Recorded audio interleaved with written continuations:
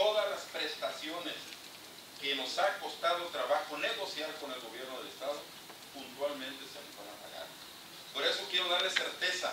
de que como organización sindical,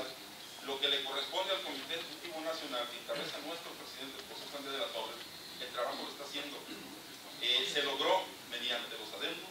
eh, ir avanzando poco a poco en esta reforma que quiero decirles, quiero decir,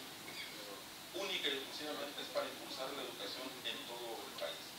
Y eh, por otra parte,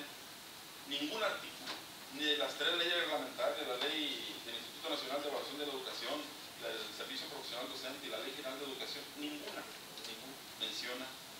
eh, la violación a nuestros derechos que tenemos, que, desde hace 70 años se han ganado. Por esa razón, yo les pido de favor,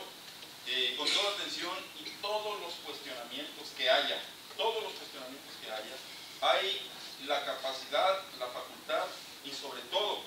honestidad y la verdad para contestarlos exactamente como dice eh, la Ley General